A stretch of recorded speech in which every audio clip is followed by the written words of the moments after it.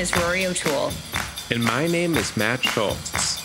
And this is How to Be, the podcast where we discuss ancient wisdom, modern hacks, paperback self help books, and pithy platitudes in the hopes of figuring out the best way to live this one precious and wild life.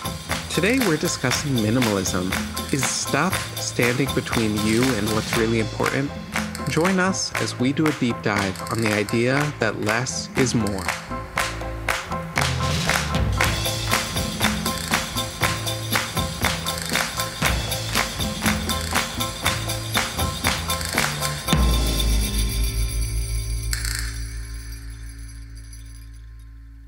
So today we are talking about DALL-E.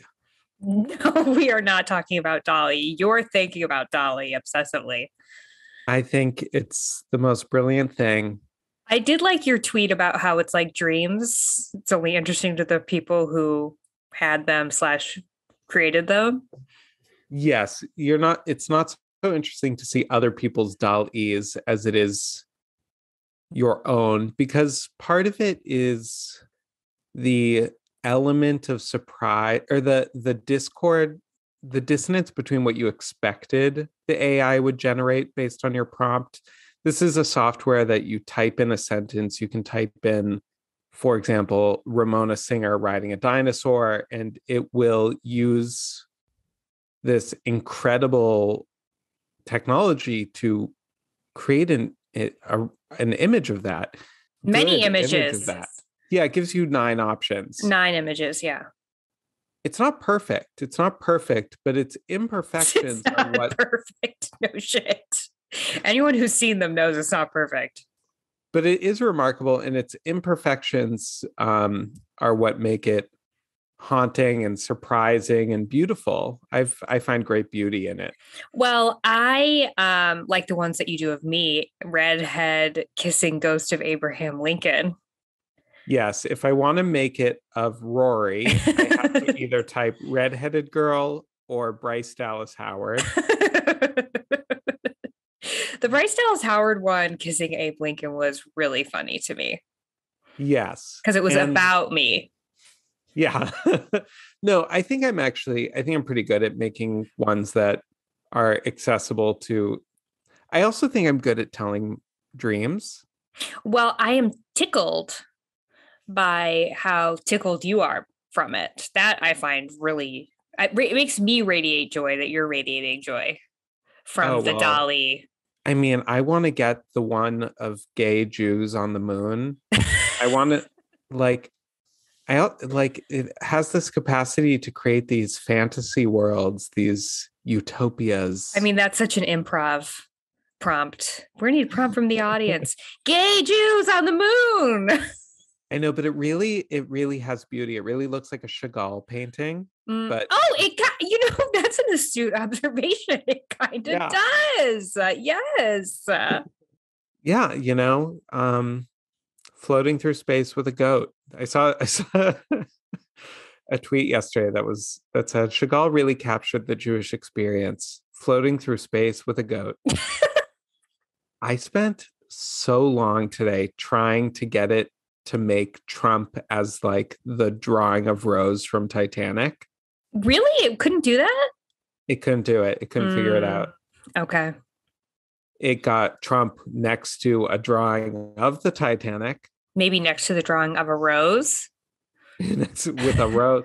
I saw I got him to be like with Rose on the Titanic on the deck of the Titanic. okay, well, that has That's... nothing to do with the topic we're about to discuss today. um, it neither goes along with it nor contradicts it. Today, we're talking about minimalism. I think we're going to be talking about it both as a lifestyle and also an aesthetic. So, if you live a minimalist aesthetic, you definitely live a minimalist lifestyle. But if you live a minimalist lifestyle, you don't necessarily have to have the aesthetic. Um, I actually think that you can live a minimalist aesthetic without living a minimalist lifestyle. I mean, a, a hundred a basic white tees. Yeah, and like a sleek white condo and you know, lots of surfaces and big windows, you know, and a low bed. Yeah. Well, why don't you talk about why don't we talk about you you you go ahead and say what is minimalism? So our main text that we looked at today is this movie called The Minimalist. Less is now. Do not um, recommend watching it. not no. a not a good documentary. No, and they so these two guys who made this documentary, they also did a TED talk. They've written a number of books. Everything they do is the same, right down to like some of the same, like they repeat lines, and it's very there's something just wretched about them. Like I, you know, I hate them. They're such tools, right? Um, they definitely are tools, but they like really go into their sob stories in the minimalist documentary, which made me feel oh, great. Brother. Really felt great. or they're so filled with pathos. Like you you're, you're, your your mouth is agape at me. You feel like I'm a tool myself for thinking, for feeling sympathies for them. I can't believe you I can't believe it elicited a feeling. Um, but that guy has such an interesting shaped head. I've never seen a head like that. It's truly one of a kind. and for a reason, I might add. no. um, but basically, yeah, they are. Listen, yes, they're they are not impressive people, are they? No, they. I mean, in terms of like their thought, they're not. Yeah, it's very shallow what they're basically saying. It feels. And the documentary. It feels a little manipulative to me too. Like they are, I think, trying to convert people. The whole thing feels very religious to me. Absolutely. I discovered minimalism. And it fixed everything in my life. Truly truly that is the, the narrative it fixed everything in my life this is the thing they are preaching to the choir i fully agree with what they're saying about our consumer culture mm-hmm. and yet even when they already have me as someone who like agrees with the basic premise i really disagree with how they present it so so they're like, we live in this world of excessive consumerism. Check. Yes, I agree with that. And you have to have less stuff, stuff that doesn't quote add value to your life. Okay, I agree with that. But the reason why we do that, they keep is sort of this radical individualism. So I want to define my own idea of success, not what culture tells me. And I don't agree with that. I think that kind of go your own way individualism is our consumer culture. Ah, tell me how why? Because you know, we're just being sold these ways to identify ourselves all the time, all these different ways of being. Yeah, you think it plays into sort of like this egoic identity obsession we have.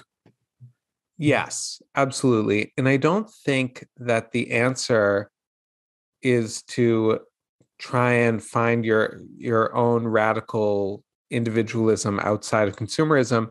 I think it's to build a culture that actually has good values because I think that we want culture to have values and we want to be moving together towards values in community in the in the shape of communities. Well actually i wanted to talk about communities because in the documentary you know they had some um, other people talking and i think this person there's another talking head an expert on minimalism. I don't remember what he was. He was older white yeah beard maybe he was didn't have a beard maybe he was bald i don't know i think he was bald and had a beard I, I am getting a DALL-E vision in my head of him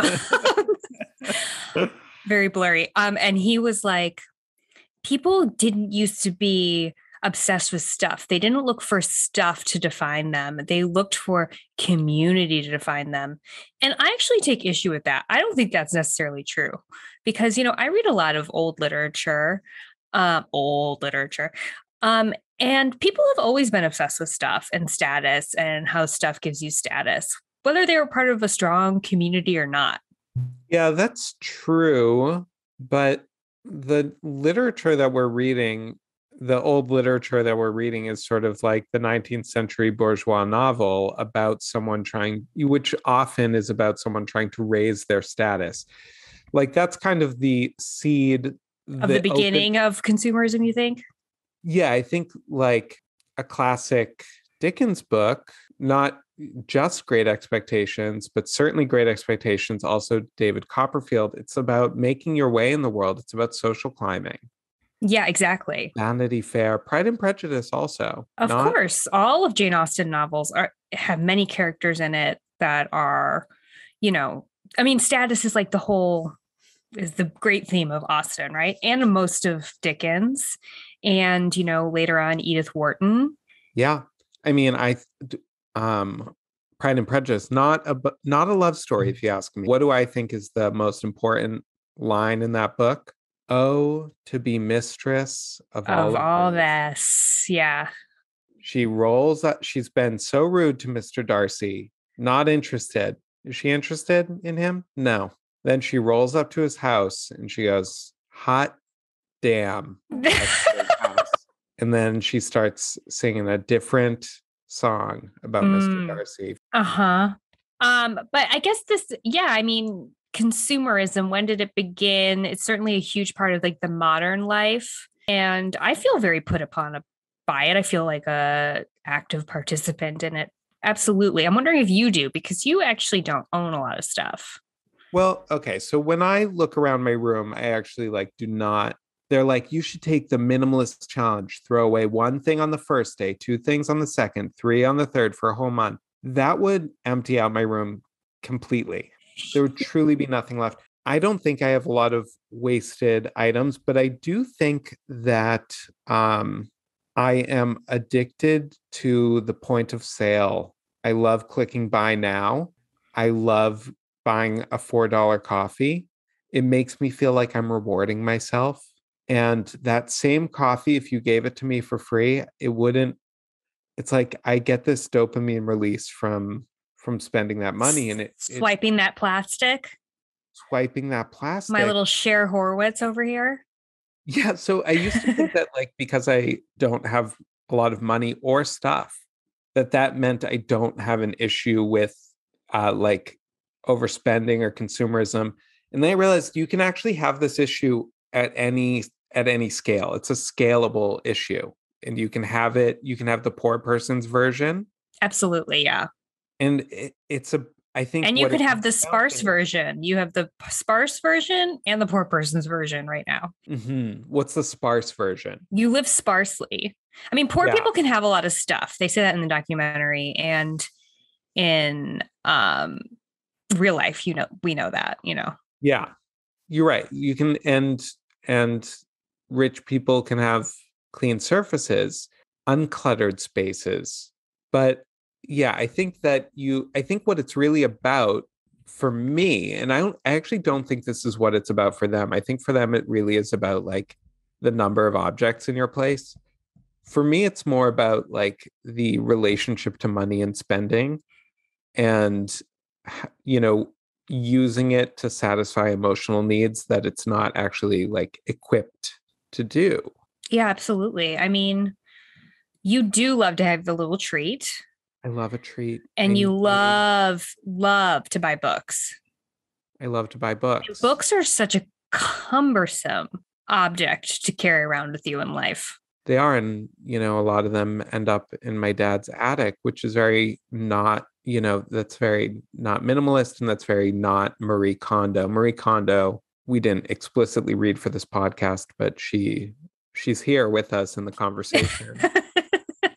yeah, she, I don't think she would describe herself as a minimalist. Maybe she would, but it's more about um, only having objects, obviously, that you use and or spark joy. Yeah, so I want to ask. There's you, definitely the emotional component with Marie Kondo. It doesn't have to like, which I didn't get from this minimalist documentary it's not like they're not keeping around sentimental items at all it seems like i'm not sure about about they that. don't mention anything about sentimental items. No, they don't they don't talk about that. He did talk about keeping things that add joy. He did I don't remember that, that, but he did. He he used it at one point. That wasn't the regular phrasing that he used though. The their main so and I, I actually think it's an interesting thing to compare. Marie Kondo says if it doesn't spark joy, get rid of it. And they say if it doesn't add value, get rid of it. And I'm wondering what you think about these two phrases. I mean, add value, obviously, I'm going to be have gun shy about, or uh, my instinct is to be opposed to it because it just sounds so corporate. You yeah. know, it sounds so like capitalist consumerism, like adding value, almost like a math school math equation. You know, like mm-hmm. I'm part of like an algorithm of you know having optimizing my life having the most um, fulfilling experience. And we're going to put this into a little equation.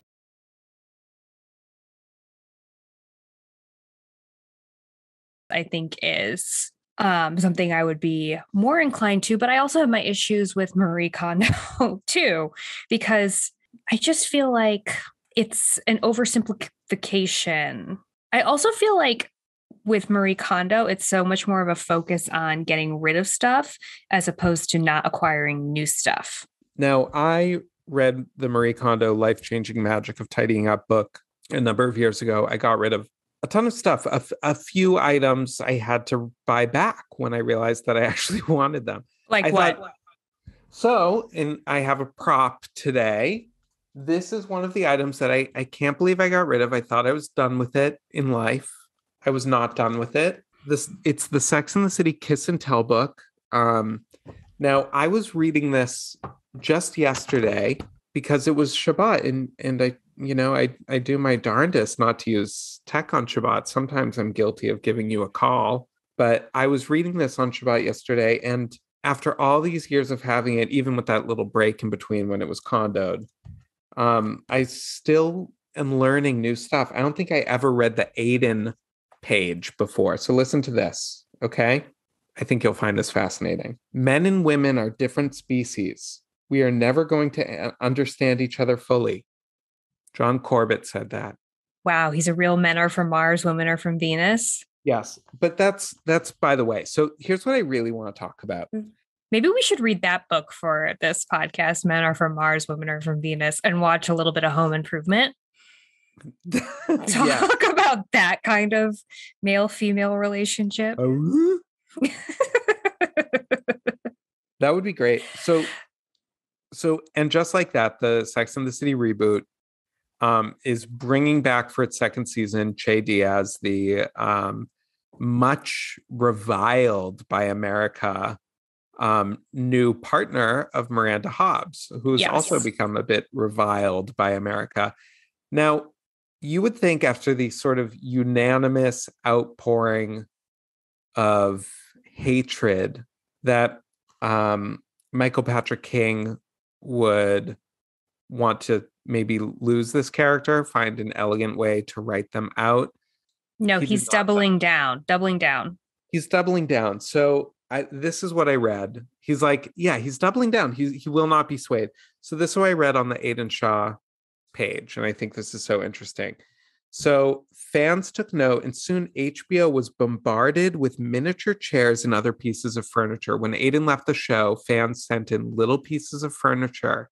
Wow. I love how did these campaigns get started before the internet? That's another topic for another day, but I have no I mean, like how I, they saved Roswell with little Tabasco bottles. That was way before the internet took off. Anyway, this was internet.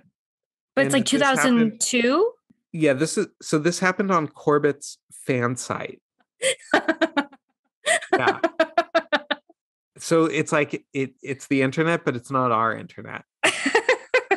Not this internet.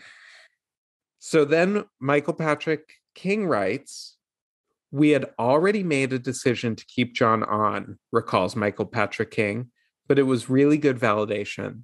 The fact that he specifies that listen, fans, don't you th- don't you dare believe that you have a say in this show. Absolutely. Because, you know, when he came out and said Che was coming back, it's because he said the audience didn't like Che because we were too scared of them. They made us too uncomfortable. It's the audience's fault. It's not the fact that they created one of the stupidest, cringiest, most obnoxious characters in TV history. It can't be their fault. Can't be their fault. So even back in the day, he wanted to know and this reminds me of the Saudi prince Mohammed bin Salman. You know, he the, there were all these women activists in Saudi Arabia um, at, agitating for the right for women to ride to a bike. Oh, and he granted it to them, but then he imprisoned the activists as if to say, I make the calls here. I'm not doing this because you protested. Don't forget that this is an absolute monarchy.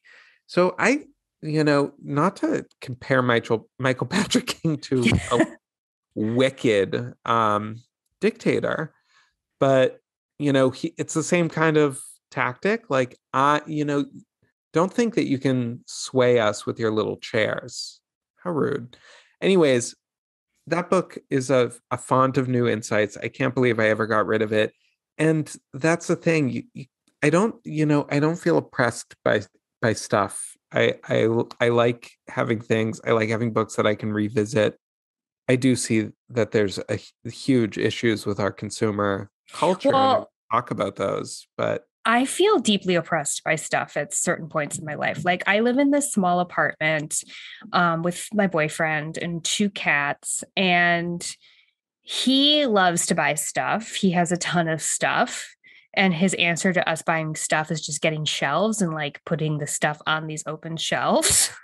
Yeah, that's like how many bamboo kitchen spoons can a human have? But of course, this is me projecting onto him. It's not like I'm a monk myself, you know, living with my one bowl and one um kimono. I have two mm-hmm. kimonos, for example. I probably only really need one. Two kimonos. so sometimes the stuff it like really caves in on me you know i feel really like claustrophobic by it but nothing sounds more dreary than a day cleaning out my stuff i'll tell you that much. So i'm never motivated to do that because i don't want to waste my um, precious free time.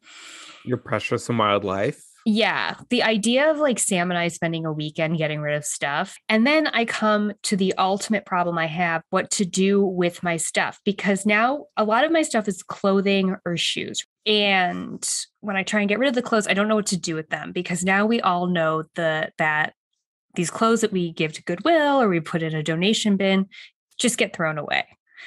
Um, so it's like people recommend like sustainability people are always like you should try and sell your clothes because then you know they're going to be worn or like give them to a friend. So then I just end up keeping my basically I keep my own trash to not put the trash in the world. Like it's still trash. Okay. Yeah, but now you're you're living in the landfill. Exactly, but now I am the landfill. Let me help you see this another way. Just throw it out. Just throw it in the trash, okay? I'm going to I'm gonna be a real devil here and just throw it away. You're right. I know. I know. It's not a lot of stuff. Or you know what you can do, and this is a tie-in to another book we read for the podcast. Is um, we read a, a Cheryl Mendelson's cleaning guide. Not sure if that podcast may, will make it will see the light of day, but we did we did read it. Make rags, Roar. Make rags cut those garments into squares and make rags. Sorry, I'm like literally recording this podcast in my closet, looking at the clothes and being like, would this polyester plissé blouse make a good rag? I don't think so, but um, but I think that there's another component to there's two sides to minimalism. There's paring down your stuff and then there's stop getting new stuff and i almost find that even harder. Well what are your like what are you buying? Like you know what is so funny is um and you know we did our whole internet social media episode how to do nothing um and i don't know if this made it onto there but the internet and social media i think one of the biggest you know, toxic relationship components of me and the internet. is like it makes me a consumer.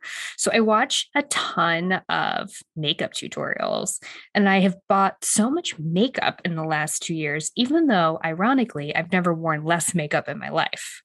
Mm. Like I don't put on makeup every, every day by any means, but I'm like, I really want to have this fun eyeshadow set. And that's another thing that I think the minimalist documentary and minimalism in general sort of glosses over is and they don't talk about how you buy it because it's fun. Yeah, the the thrill, the thrill of the hunt. And I remember once like eh, being in this like delirium of like trying to save money, but really wanting to spend and just sort of going back and forth with myself about all these different things and feeling like I needed a treat, but not sure what to buy. And it's like, I'll buy someone a gift. Like that felt like a little cheat. And that's what made me realize that it really is about the thrill of the hunt for me because a gift, getting a gift will give me that same. And you know, I like to do a little buy now, get you a gift you know, have a little something. And for me, getting you a little gift, it's the exact same thing as getting me a gift. Oh, interesting. You should do that more then. I get to click buy now. It's not entirely selfless. I'm getting a big dopamine hit from the from the the Amazon of it all. Yeah. Well, okay, what can you use to supplement it? Because that was one thing I really liked about How to Do Nothing was she kind of gave you an answer of what to do instead of looking at your phone. Was it a good answer? We don't know. But what is the answer? Well, there are other ways to have a treat. You can make yourself a treat at home. Ugh, doing something? How dreary. How how is me doing anything a treat? Yeah, I mean, no, that's the thing. I actually think that the real answer is you have to go without. You have to go without. You have to like and... shut down that part of your brain or like make it smaller, like you have shrink it, it. Well, I did see watch this YouTube video um, of this woman who went a whole year without buying anything that wasn't like a, something she consumed and had to replace. You know what I mean? Yeah. Um, I thought that sounded like a really interesting idea. And I was like, I'm going to do that. And then I was like, okay, I need to buy $800 worth of stuff. So I have everything ready to so start the year. That brings me to something I wanted to talk about. So that I, I I wrote down I wrote down some notes about like a couple um what I consider to be like consumerist delusions, like modes of thought that lead us into this trap. And one of these, so needing a treat is one of them, mm-hmm. but one of them is what I call the finishing the collection delusion. Yes, yeah. that I am deep in that delusion. I'm like, I just need one more blouse, one more pair of black sandals, two more pairs of work, you know. Yes, it's like it's it's purchasing to get out of purchasing. It's not entirely different from like I'll just eat this whole cheesecake so it's out of the house, like that sort of diet culture trope. Yes, yes. Um, but yeah, it's it's this idea that like, okay, look at your look at your wardrobe and figure out like where are the gaps. Go spend the money now. It justifies huge outputs of money. Absolutely. Um, and you know what? It doesn't work because then the next day you bend over, you split those pants and you know you need a new pair of pants. The collection cannot actually be completed. It is uh, an ever retreating horizon. Absolutely and i think that kind of goes into minimalist aesthetic which is the I, I, follow a lot of minimalist YouTubers and um, people on Instagram, and of course, the idea with them is you know to have a very pared down wardrobe um, and to buy the highest quality items you can afford and have very few of those items, right? But the problem So for me, someone who doesn't have a lot of like disposable income, you know, I'm trying to um save for uh retirement that will never happen. So I've got to work on that. Um, like a nice item would be from like Everlane or even like a nicer item would maybe I mean, I buy a lot of my clothes used. That's a whole different genre. But like let's Everlane, the quality, my pants are still ripping at Everlane, same yeah. as they are at Forever 21. I almost feel like the myth of quality is part of the myth of minimalism. My Madewell shoes do not last any longer, you know, than my um Nordstrom rack shoes. Yeah. I mean, there I would say that there are like a few exceptions to Listen, if you can jump up to that next bracket, maybe that is the case. No, I actually don't think it's about that next bracket. I think it's about certain brands. Like I think like uh uh Levi's pair of jeans is like pretty durable. And I think that there's like certain am I just like advertising for am I caught in the trap of consumerism right now? Am I, I mean, just like I actually don't know if Levi's jeans last that long because Sam buys Levi's uh, used to buy Levi's exclusively and then stopped because they started ripping too quickly. okay, you know what? I'm just spouting some nonsense that I probably heard from a commercial. Listen, you know, you can what I guess I feel like it's almost even more random than that. Like you can get a good pair of jeans from Levi's. You can, but yeah. you might not all, you know, like the consistency isn't there because where they're like producing on such a mass scale. Like people always shit on Forever 21 and for good reasons, yada yada. But I have bought things from Forever 21 that have lasted years and years and years. And I have bought things from Everlane that lasted me, you know, three weeks, three yeah, months, probably more than three weeks, but is kind of a crapshoot. Like, and then I'm like, okay, well, I'm going to buy from like smaller. Let's do this differently. Let's buy from smaller brands that are like sustainably, say they're sustainable. They get good B Corp ratings or whatever that is. I what bought, is- it's like confirms that you're it's like an independent confirmation that you're good um i bought a bunch of leggings from this place that's like that three months before rips in the crotch yeah you would have been better off buying from LuLaRoe and helping some poor woman avoid the like a house foreclosure and I could have gotten smiley face leggings that way, you know? No, I, I wrote down this quote from comedian Sarah Silverman, which I love. The quote, which I, I who I love, and the quote I love. I think about this quote often because I'm quite interested in the void as a concept. Um, and she talks about the void. So she says, life has a gap in it. It just does. You don't go crazy trying to fill it in like some lunatic. Now, what I like about this and what I don't like about the minimalists, the, mm-hmm. the name of these dudes who, with their head shapes, who made this documentary, is that they believe that life has a void, life has a gap that can be filled, and it can absolutely be filled by minimalism tm you know like minimalism to them is very much like it's not like a loose thing it's like this is a, for them like a very specific approach to life and it will fill the void and I actually think it's like, it's all about learning to sit next to this gaping void and just be like, and stop throwing stuff into it. Stop trying to, you know, um, it's, it's like that, that beautiful Solange song. I tried to drink it away. I tried to sex it away. I traveled 70 states you know, running, running away from it, throwing things into it like a lunatic. As yeah, I, like you called me the other day and you were feeling the void more than usual, like, and you said, "Oh, I think I'm depressed," and I said, "Ain't you a human?" I loved that response. By the yeah, I was like, "Am I depressed? Ain't you human?" It's like, yeah, oh yeah, I forgot. Like life isn't supposed to be all candies and roses all the time. Like, who cares? Basically, yeah, who cares? who cares? Your life will never feel totally like a circle with no hole in it. It'll never feel complete. It's a process and not an enjoyable one or a, or a straight line one, you know? Um and, and there and all these things we we we fill the gap with and I hear people when they call me my friends or whatever, just people when they're talking about their life and they're in um they're really feeling the void, let's say, and they're scrambling for things that'll make it fill the void. I just need to get and I've been there too. I've been there too. Things I thought would fill the void.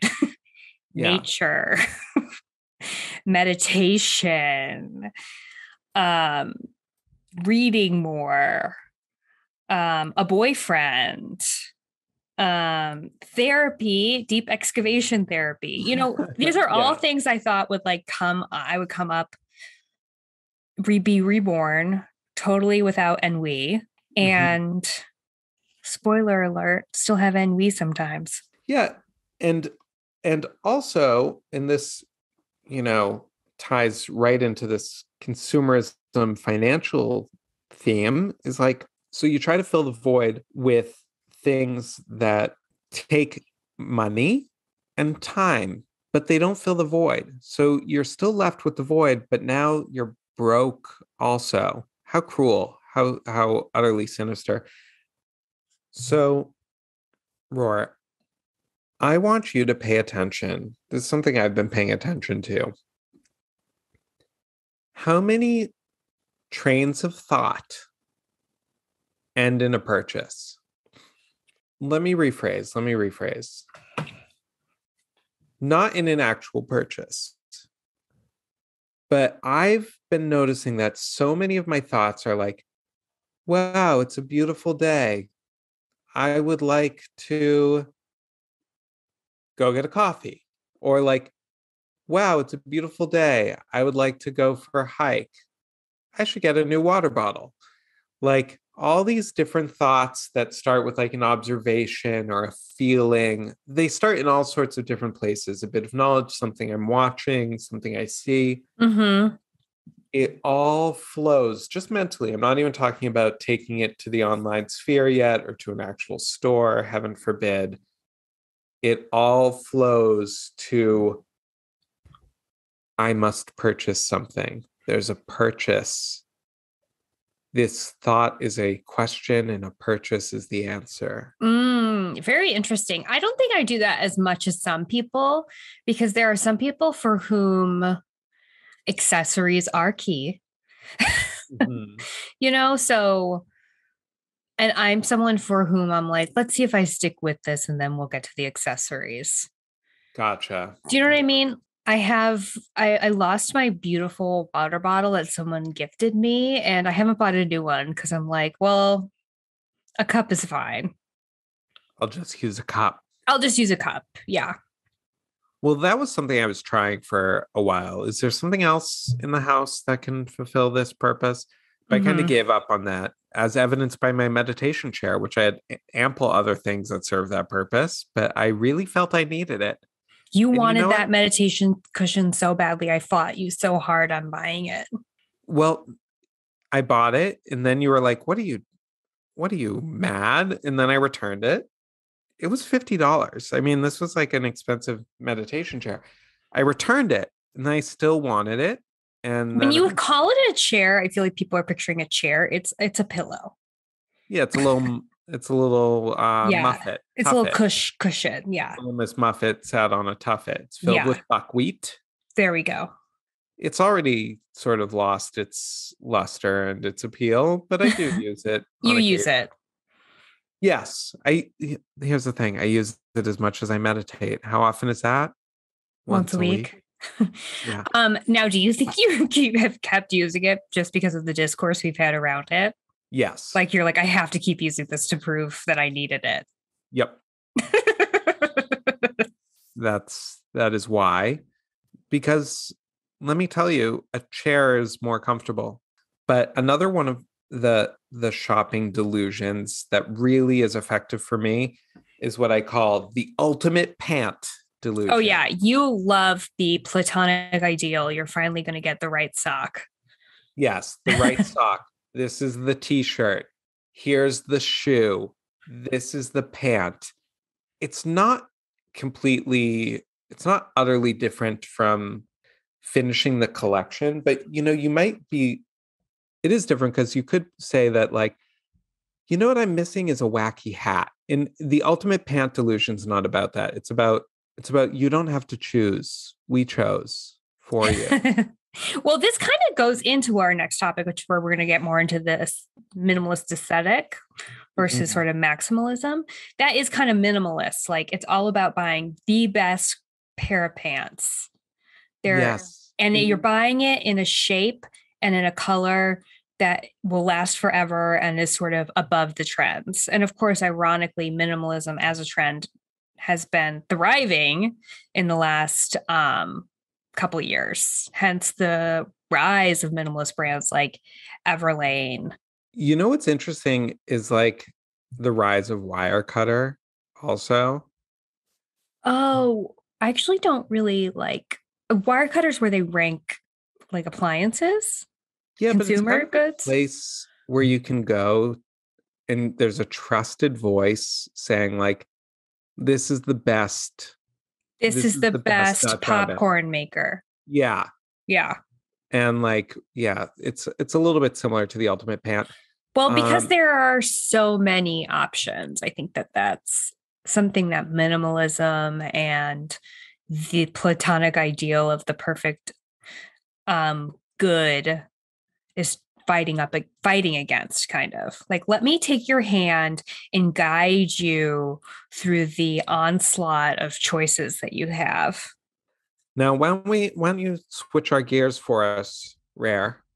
Yeah so we're uh there you know going along with minimalism as a lifestyle is kind of the minimalist aesthetic um sort of being I don't know if it was birthed from that, but they go hand in hand. It's this idea of, and we've touched on it before, buying fewer, higher quality things. And it is also sort of the way those things look. So, mostly I think of it in terms of clothing and home decor.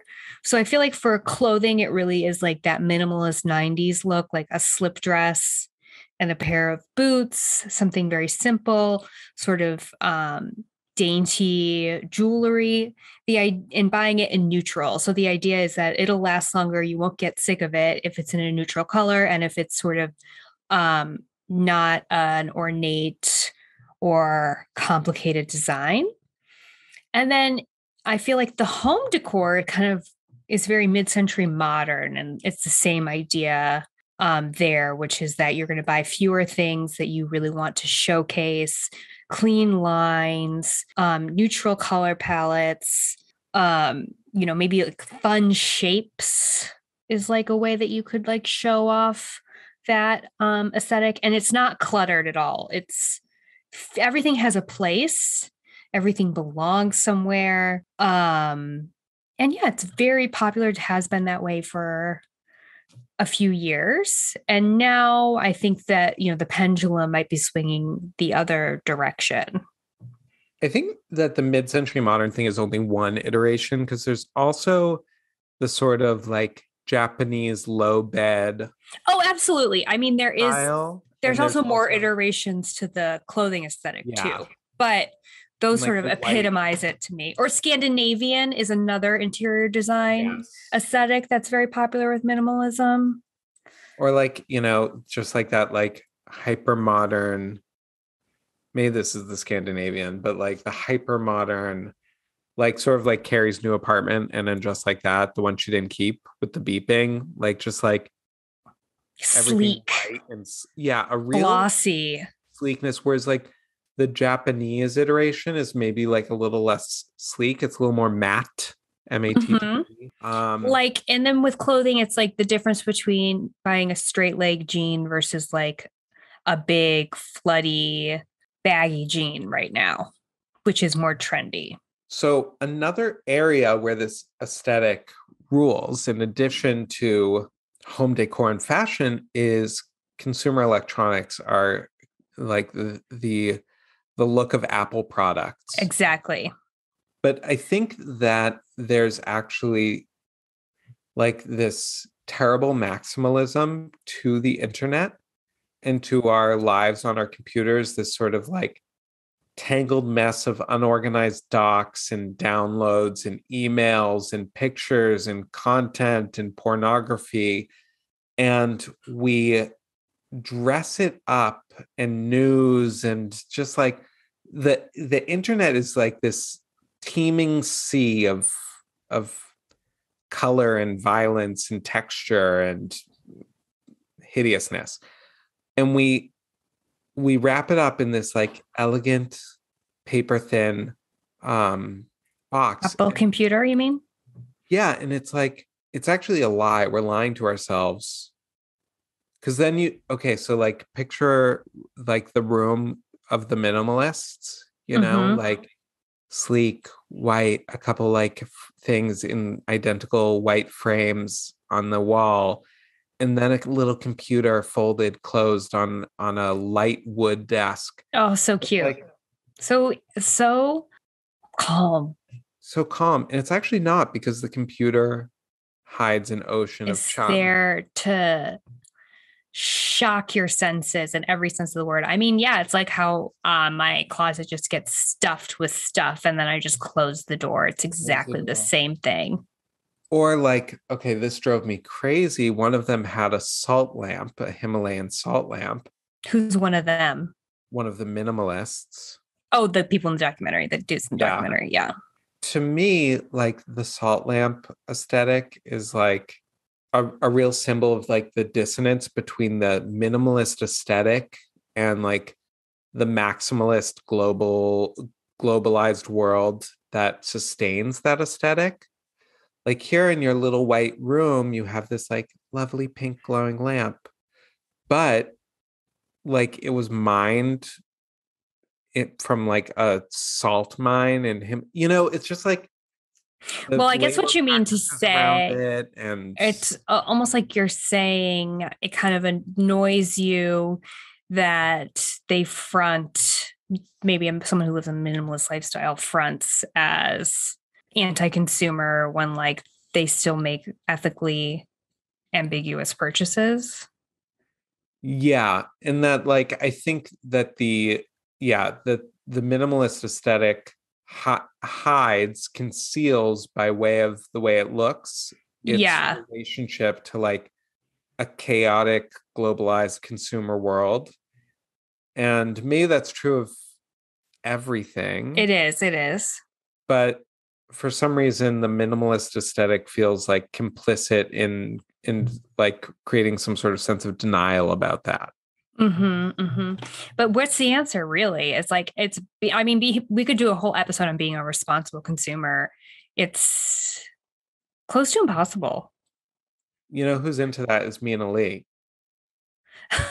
Mina Lee is into that. There's a lot of YouTubers who are into it, but and I mean, okay, there, there. Here are the answers that you'll get: is like buy only things you really need or really want, and buy them secondhand, right? But it gets a little more complicated when I you have to buy things like contact solution. Well, yeah. you know, nobody's perfect in this. Nobody's not in the wheel of consumerism in this American lifestyle. Um, that is absolutely true. And it's a delusion. It's utterly delusional to think that there's any way out. There's no way out. in any way out that you see is actually a way in. It's a trap. Well, yeah, it's like, should I buy glass or plastic? It's like the complicated algorithm that goes into deciding which is less harmful to the earth. We talk about the maximalist aesthetic. And now we talk about the maximalist aesthetic, which is sort of, you know, the pendulum swings, baby, and it's swinging the other way now to maximalism, and which it I, feels like a young, well, does it feel like a younger aesthetic? It does. Yes, it's giving grandma hoarder and it's giving teenage girl. But also like yeah sarah lawrence like uh sarah lawrence professor upper west side apartment. Oh yeah for sure. Plants cats books plants, plants cats, cats books. books candy dishes. Candy dishes yeah. Br- browns oranges like not not whites not taupe. But what's maximalism well i mean i i think it is what it sounds like. But you know, I've been more amenable to to a maximalist look lately, perhaps because I have less space. So more of my stuff is in the space. But I've kind of been into piles and fabrics and it's layers. That's exactly what it is. It's layers. It's giving you know, um, six dusty blankets on an old ornate couch. You know, the aesthetic is Marie Antoinette. The aesthetic is hippie commune with 25 people living in there. The aesthetic is nothing has a place. Where do yeah. I look on the wall? There's so many Guatemalan masks, you know? and, it's and collecting and displaying, but not in a polished way by any means. It's not museum curated. Yes. And what Mina Lee, our our YouTuber friend, yeah, not our friend, but our beloved YouTuber says about maximalism, which she likes about maximalism, is that it it's actually you have to do the work for it. You can't just buy a maximalist aesthetic in the way that you can sort of purchase. You can go to Muji and just get a, get your minimalist things, and they're all there. Maximalism, you have to go out into the world and find those Guatemalan masks. That's true. You have to go to a flea market and you have to hold on to things. You can't throw them away. It's best if you never move apartments or houses because that's when the real accumulation begins. every well, I mean, every move is uh is a paring down and I've had more apartments than years of my life um in in the past decade and a half at least. Um um uh, yeah yeah that's why I have so much stuff in this apartment. I haven't moved in 6 years. Yeah, it starts I'm fucked next time I move. It starts to pile up um, but yeah, I, have been enjoying a little a little vignette in the it's apartment. A little so funny because I'm looking at your room and it is so sparse compared to mine. And you're like, I'm a maximalist, baby. Look at these twinkle lights. Well, look at, okay, look at this look photo at this wall. Angle. Yeah, you have a photo, photo wall. wall. Look at those books. Wow, look at that so, Kleenex. No, if you want to see the Kleenex collection, it's over there. Do you see all those? What's boxes? that chair? That is a chair, a folding chair that I use to do inverted push ups. Oh, my little. And I just leave it out in the room. you have like a real gym, gym rat vibe in there. One thing Mina Lee said in her maximalist video was kind of about how people, you get to show your personality more. But, you know, I can just see in like 20 years when ma- however long cycles change so quickly now it's trend cycle so maybe in just a few years people will be like no i like minimalism because you can i pare down my items and you can see one thing that really means everything to me as opposed to a bunch of mm-hmm. crap you know? Like just these are just trends. And i think they're they're to a certain extent always going on in tandem. Exactly. I mean those sarah lawrence professors have had those apartments yeah they've never changed them you know and i think certain mm-hmm. minimalists are like no i'm a minimalist forever and certain ones were like are just in it for the ride.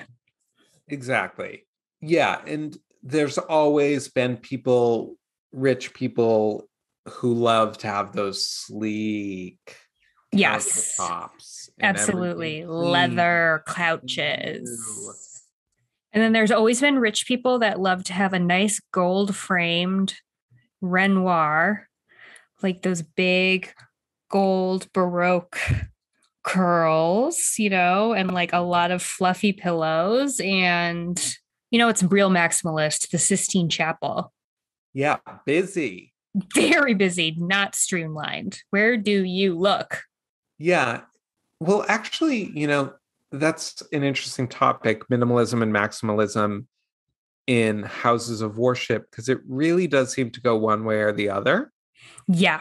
Yeah. I mean, Catholics, maximalists, Quakers, minimalists. Yeah. Now, like I used to go to a lot of synagogues in Israel, like Orthodox synagogues that were very maximalist, and I liked it. Little mm. lamps and books and all sorts of stuff going on, and very mm-hmm. crowded, sort of mystical feeling. I feel like the um, American sort of non-orthodox Jewish aesthetic is like a like a, a 70s modern building. Concrete. Concrete and like the Judaica of the reform world is also minimalist, like colored glass, sleek. Oh yeah. New. Yeah. New. Good sound system. It's not that the reform Judaism minimalism is not the same as the Quaker no, that's more like little cabin in the woods. Yeah. Benches. Yes. Yes. it's more Abraham Lincoln living in a log cabin even, than yeah. brutalism. Yes. The brute the Esther the the Esther Raushenbush library at Sarah Lawrence. Yeah. That's sort of what what people in the 70s thought the future would look like or what a moon colony would look like. they were they were right and they were wrong because we live in the world they built for us.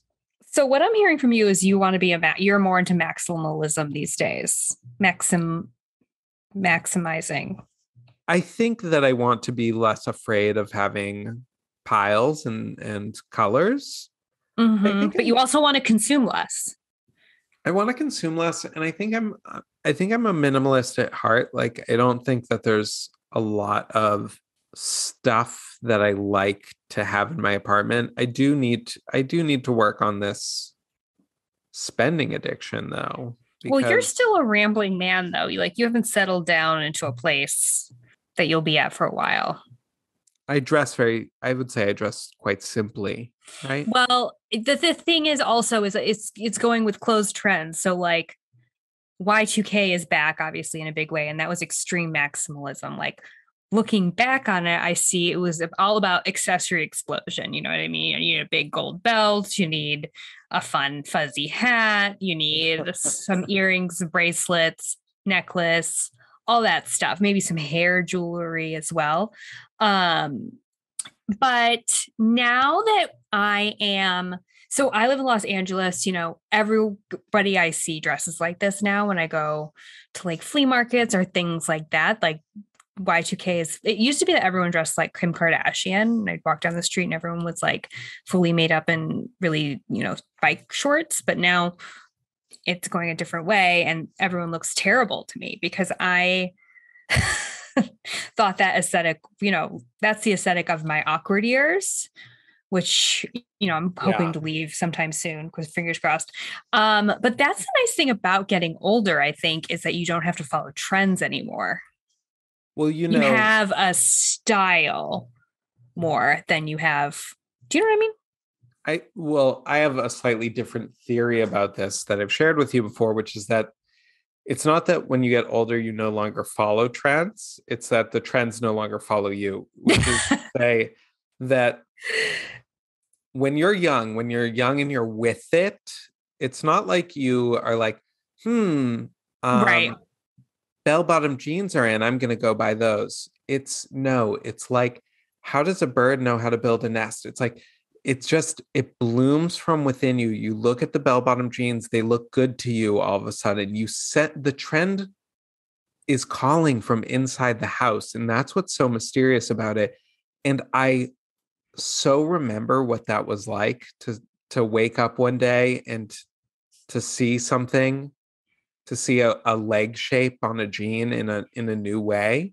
Yeah, absolutely. But I'm not in touch with it anymore. I, and so, you know, I I have that same feeling. I look at what the kids are wearing and I'm like, it's just, you know, it it's like it's like seeing a language that you don't speak. It's like you recognize you see the shapes of it perhaps more clearly than they do. Well, absolutely. I mean, there's a saying that like if you were around for the first iteration of the trend, then you can't participate in the second time it comes around. and I totally agree with that because I mean, there's just too much baggage tied to low rise jeans for me. I'll never be able to look at them with that naivety no. I had when I was trying to stuff my um muffin top into them, you know? You know, I did see a, a young lass walking by my street in some very low rise jeans, and she looked great. Oh, that's nice. Good for her. I mean, I think all the kids in Euphoria look great too. Yeah, she she was so euphoria, this girl. the thing is, is a lot of them to me don't look good. Like they look objectively adorable, cute, young people but like i'm like you look ridiculous in those like cargo low rise jeans with the whale tail coming out and like a crop top with a butterfly on them and a bucket hat i'm like this is it's chaotic. It's I, and you're right like i don't have the eyes that they have like they're seeing with such different eyes. They're seeing something different. Yeah. Something that mina lee talks about is that like in the past, perhaps even in the recent past of the 90s, which isn't so recent anymore, um, in a, a fashion aesthetic really sort of meant something about your affiliations in this world socially mm-hmm. artistically and that that connection has been dropped that you know to dress like a hippie does not imply anything about your your worldview yeah that's uh, fascinating to me because we would have called them posers posers but the whole idea of the poser has really been deconstructed. Yeah, like they're like they've I can't believe that they've been able to let go of that chip on their shoulder, these young people.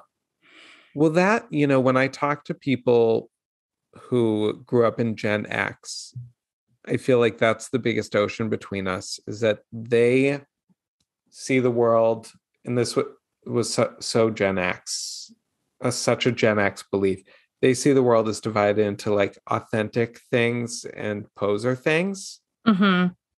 And it, I believe it was our generation, the millennials, that really like presided over the the the breakdown between, you know, the poptimism craze, the idea that like there's no difference really between high taste and low taste. Mm-hmm. Mm-hmm we we did that and i don't know if it's good that we did that or if it's bad that we did that i'm agnostic but it is a gulf between us and gen x who who really think that the poser exists and like that uh, an entire genre of music can be sort of poserish whereas we're like ariana grande is you know as good as mozart you know like I'm thinking about that because I almost feel like we had the concept of poser ingrained in us as well.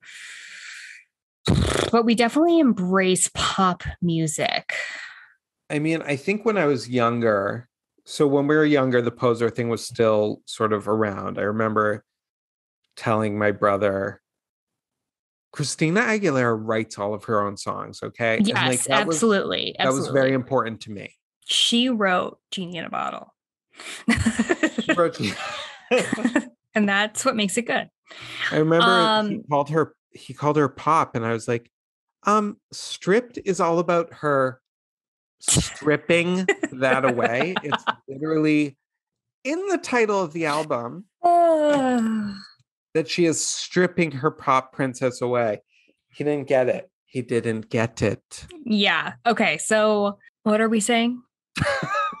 We're we're I think that Gen Z has totally done away with that. No, they poserism. They know, they know that they're that the artists are products. Yeah. They know that they are products. Mm-hmm. And they're okay with it. Except for their like wildly insane like rates of mental health issues. So they're not really okay with it. Whatever, they're just crybabies. they're not comfortable with the void. No, or or they're too comfortable with it. I no, they're not comfortable with it. Yeah. They're not comfortable with being uncomfortable, but neither am I. So, glass houses.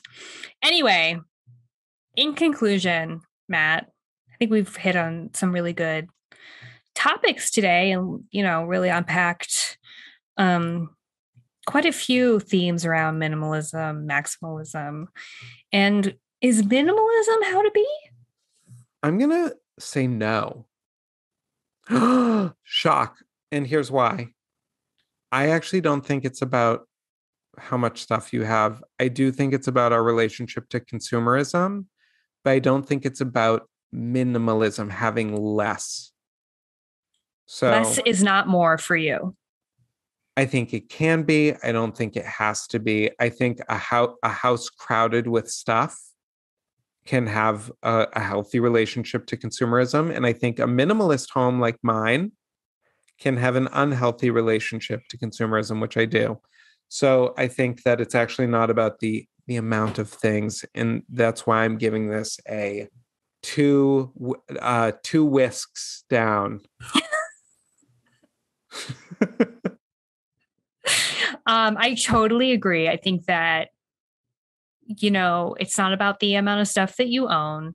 It's about why you buy stuff and why you hang on to it. You know, are you hanging on to your own garbage like I am? Well, maybe it should be time for you to give the world your garbage. Um, and you know, I do think that we should be asking ourselves how much will I use this when you buy something? And how does it make me? You know, it, it's actually even pointless to ask yourself, how is it going to make me feel? Because you don't know. But anyway, don't watch the documentary. It's not very good. Or watch it if you're looking to watch something bad. and um so we live to search another day for how to be. Amen, sister. Boats beat back against the current ceaselessly.